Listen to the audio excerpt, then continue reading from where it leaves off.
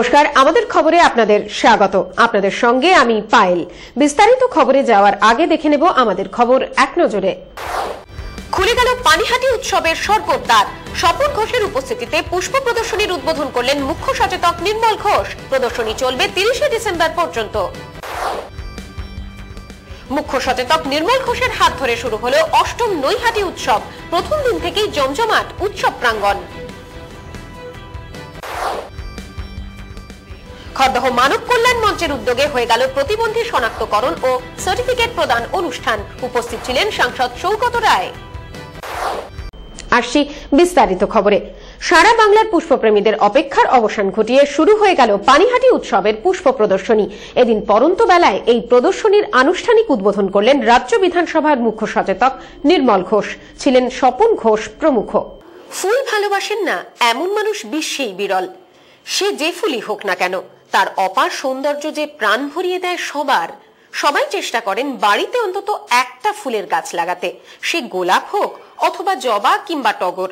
আর সেই ফুল ভালোবেসে এমন অনেক মানুষ আছেন যারা ফুল ফুটিয়ে তাক লাগিয়ে দেন সবাইকে। আর সেই ফুল গাছ দেখার সুযোগ হয় বিভিন্ন পুষ্প প্রদর্শনীগুলিতে।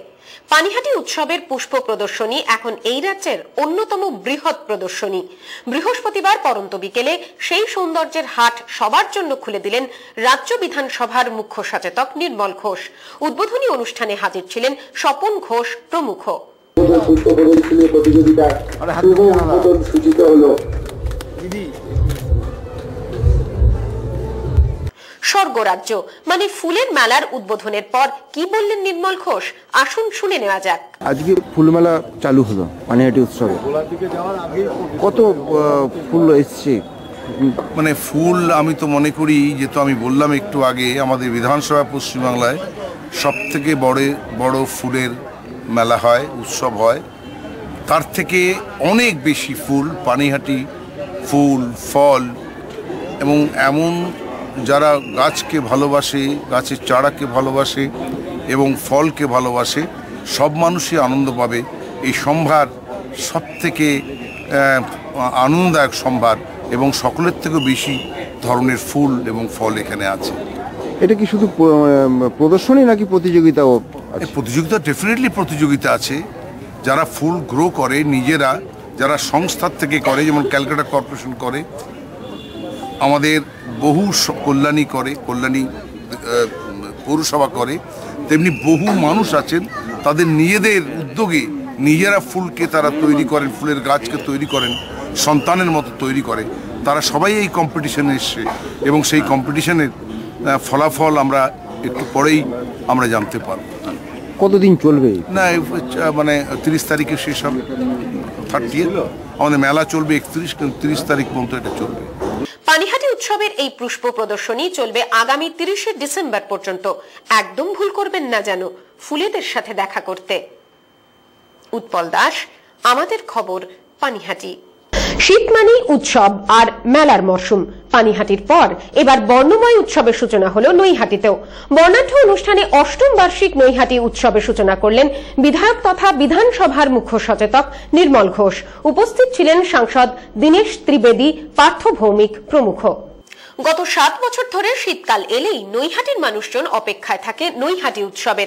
ঠিক যেমন পানিহাটির মানুষ অপেক্ষা করে পানিহাটি উৎসবের, অষ্টম বর্ষের নৈহাটি উৎসব অপেক্ষার অবসান ঘটিয়ে শুরু হয়ে গেল বর্ণাঢ্য উদ্বোধনী অনুষ্ঠানের মধ্যে দিয়ে। ঢাক, ঢোল, কাঁড়া, নাকাড়া বাজিয়ে শুরুতেই অতিথিদের বরণ করে নেওয়া হয়।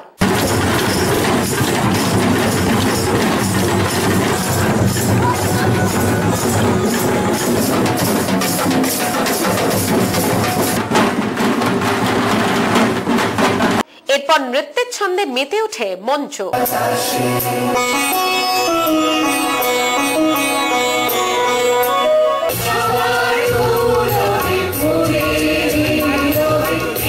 প্রদীপ জ্বালিয়ে অষ্টম নৈহাটি উৎসবের আনুষ্ঠানিক উদ্বোধন করেন পানিহাটির বিধায়ক, বিধানসভার মুখ্য সচেতক নির্মল ঘোষ।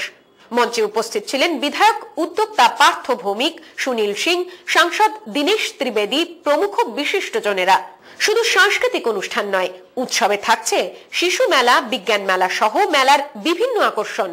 উদ্বোধনের পর নির্মল ঘোষ বলেন, মেলা মিলিয়ে দেয় মানুষকে। জাতি ধর্মের বেড়া টপকে সবাই একত্রিত হয় মেলা প্রাঙ্গণে।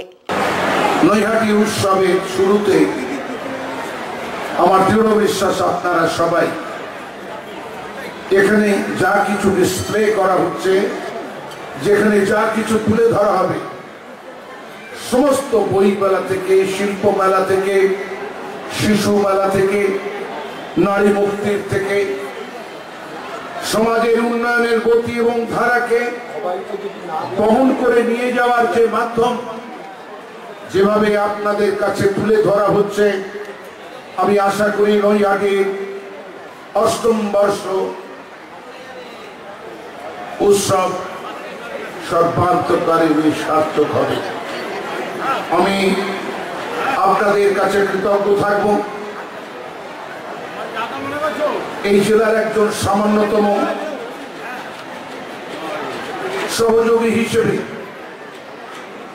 মেলা এবং খেলা নিয়ে অনেক সমালোচনা হয়। এই তো পানিহাটি মেলা শুরু হয়েছে, আপনারা অনেকে হয়তো গিয়েছিলেন, অনেকেই যাবার অপেক্ষায় আছেন।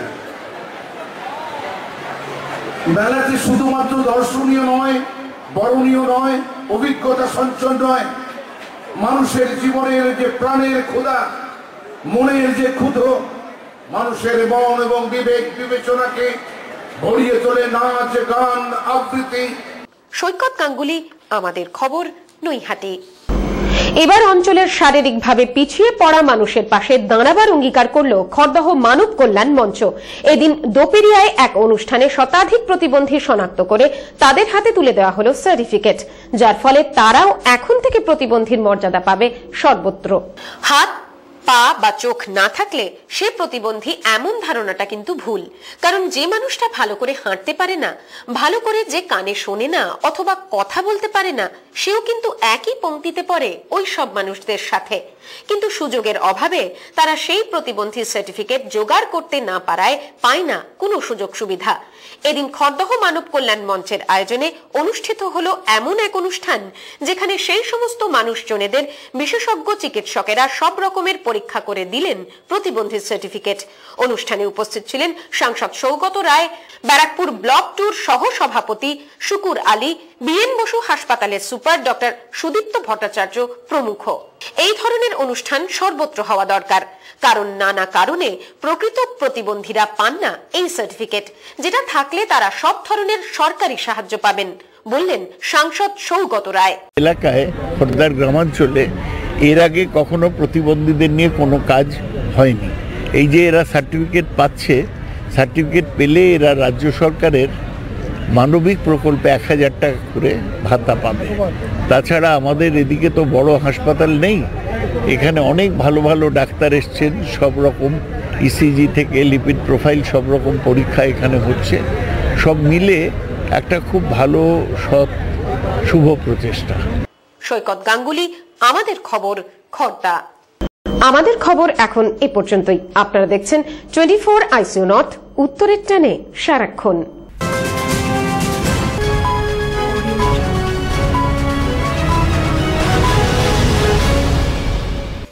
আপনারা দেখছেন টোয়েন্টি ফোর আইসিও নর্থ উত্তরের টানে।